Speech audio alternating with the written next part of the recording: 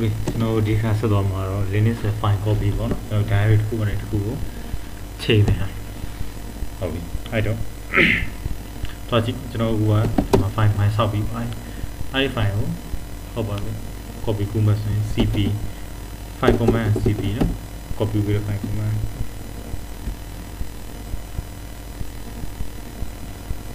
file နေရပါတော့ a.txt template ခုံလာရရနော် cp space a.txt အဲဆိုတော့ copy ကူးမယ်ဘာနည်းနဲ့ကူးမှာလဲအဲ့ဒါအရေးကြီးကျွန်တော်ဝယ်လို့မှလို့ control c control v တန်းနေလို့မရဘူးသူကအဓိကအဒိုင်းပဲတစ်ခုလေးဖြစ်တယ်လို့ကျွန်တော် name ပြရမယ်တကယ်လို့ပတ်လန်းကြောင့်မတူဘူးဆိုတော့ name မလို့ဒီနာမည်နဲ့ပဲကူးပါအခုကျွန်တော်ပတ်လန်းကြောင့်ကူးတယ်ဆိုတော့ name ကို a b.d ဆိုပြီးကူးလိုက် b.dst ဟုတ်ပြီနော်အဲ့ဒါ အဲဆို AOD BOD အဲ့ B ကိုကျွန်တော်ထပ်ကူလာမယ် C B.DSD ကိုနော် C.DS ဆိုပြီးထပ်ကူလာမယ် C.test ဟုတ်ပြီနော်အဲဆို C.DSD ရပြီအဲ့ဒါကျွန်တော်ပတ်လည်ညံ့တွေ့အဲ့တော့ဒီ file ကိုကျွန်တော်က desktop ပေါ်ပို့ဟုတ်ပြီနော် desktop ပေါ်တောင်းကျွန်တော် CD ဆိုတော့နေသွားလို့ရတယ်ဟုတ်ပြီနော်အဲ့တော့ CB အခုကလက်ရှိရောက်နေတယ် test တဲ့ဟာကိုကျွန်တော်ပို့ test တဲ့မှာအဲဒီ file သုံးဖိုင်ရှိတယ်ဟုတ်ပြီနော်အဲ့ဒါကြောင့် AODS ကို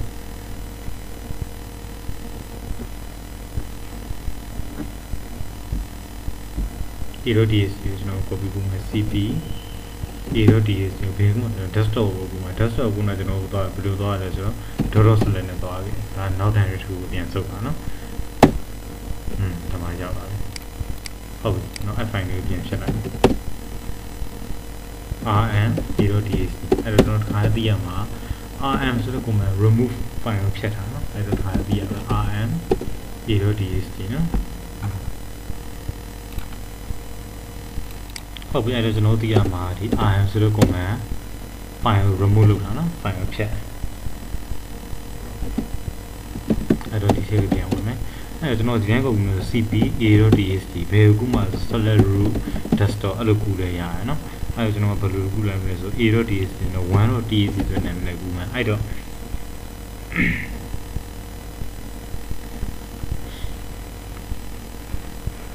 ဒီရှိရ command ဟုတ်ကျွန်တော်က Linux command ဒီကောင်က so ဒီ destination နဲ့နားဆက်ပါဒီလိုမျိုးပေါ့နော်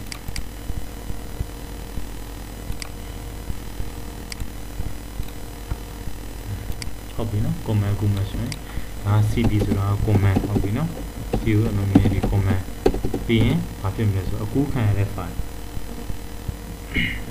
အကူခံရတဲ့ file က so အဆိုရပါစီ source ပြီးရင်ကျွန်တော်ကဘယ်နေရာကိုတော့ကူမှာလဲ ဘယ်နေရာတော့ကူမှာလဲ destination destin ndin destination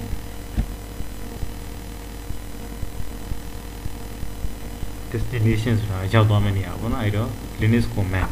ဒါက command เนาะပြီးရင်ဒီက arrow tc ဆိုတာကျွန်တော်တို့ soup ပြီးရင်ဒီက destination ရောက်သွားမယ့်နေရာဟုတ်ပြီเนาะအဲ့ဒါကျွန်တော်ဒါလေးကိုသိဖို့အဲ့ဒါကျွန်တော်ကူကြည့်လိုက်မယ်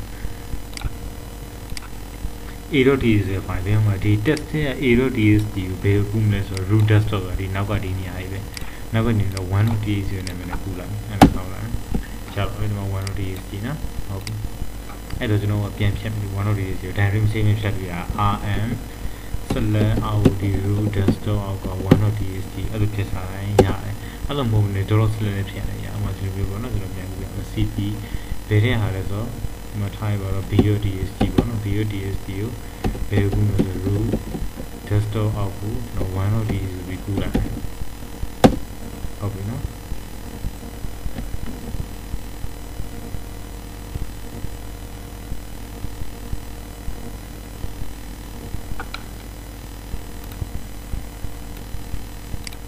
ဟုတ်ပြီအဲ့ဒါကျွန်တော်ကဒါ copy ပြပါဘောနော်အဲ့ 1.dsg ကိုပြန်ရအောင်ရောက်လာတဲ့ file ကိုပြန်ဖြတ် rm ခုနကပြောတဲ့ select နဲ့သွားလိုက်ချင်ဥမာအဲ့လိုမသွားမယ်ဒီ test.da ဆိုတာဒီ desktop ရဲ့နောက်ထိုင်ပဲတခုဒီ cd တော်နဲ့ဆင်းတိုင်းရရတဲ့ပဲတခုအဲ့တော့ cd တော်နဲ့သွားပြီးဖြတ်ရင်လည်းရတယ်အဲ့လိုမဖြတ်ဘဲနဲ့ rm တော်နဲ့သွားရင် dot select ပဲရတယ်ဆိုတော့ 1.dst အဲ့လိုဖြတ်လိုက်ရင်လည်းရတယ်ပြောက်သွားပြီနော်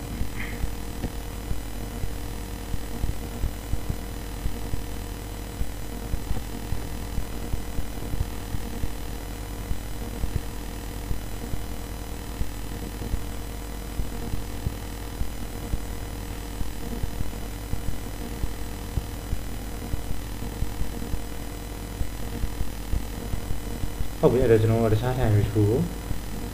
ထပ်ပြီးကူးကြည့်ပြီပေါ့နော်အဲဒါကကျွန်တော် time တစ်ခုကူးပြီးတော့အဲ့တော့ကျွန်တော်ဒီကနေပြီးတော့ temp အောက်ထဲကူးကြည့်ကြည့်မယ် cd select dnb temp ဆို temporary diary ပေါ့နော်အဲ့တော့မှဘာရှိတယ်မရှိတယ်ကျွန်တော်အကုန်ဖြတ်ထားတယ် r minus r r မှာ minus r ဆိုတော့ diary တွေဖြစ်ရင်တော့ minus r ပါတယ် minus ဆို recursive mode လို့ပြောဒီ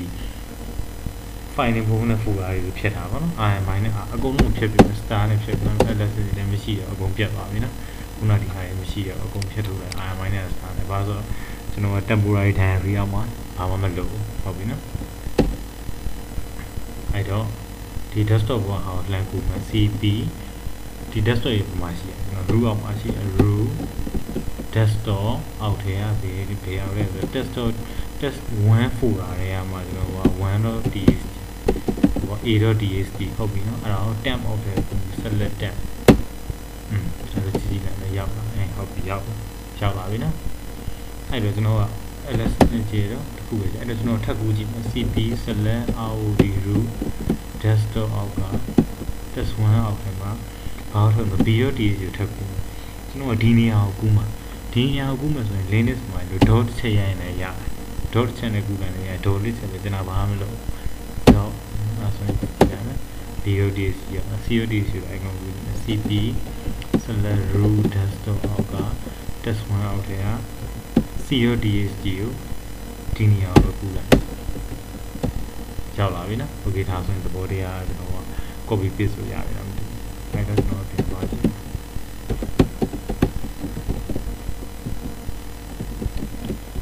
အဲ့တော့ time fee အဲလေ့ကျင့်ကြည့်ပါလေ့ကျင့်မှရမှာပါတင်တာတော့တင်တဲ့အတိုင်းပဲဟိုတခုခုသိနေတာရှိနေကျွန်တော်ဒီဖုန်းနံပါတ်ကိုဆက်မေးရအောင်3999 8484 ကျွန်တော်ရဲ့ဒီ infotech computer center เนาะအဲ့ဒီကိုဆက်ပြီးလှမ်းမေးရအောင်အဲ့ဒီရှင်းတာရှိရင်ဟုတ်ပြီကျွန်တော်စံနာနိုင်ပြန် IN40C ရဲ့ info infotech C1BUT ရဲ့ infotech computer center เนาะ infotech computer center ပြည်နာရှင်အဲ့ဒီကိုလှမ်းမေးလို့ရပါတယ်ဟုတ်ပြီနော်ဖုန်းနံပါတ်က3999 08 4 ဟုတ်ပြီနော်3999 08 4 ဒီနံပါတ်နော်ဒီ နံပါတ်ကိုဆက်ပြီးမေးလို့ရပါတယ်။ Okay အဲ့ဒါဆိုရင်ကျွန်တော်နောက်သင်ခန်းစာကိုပြင်ထပ်တက်မယ်နော်။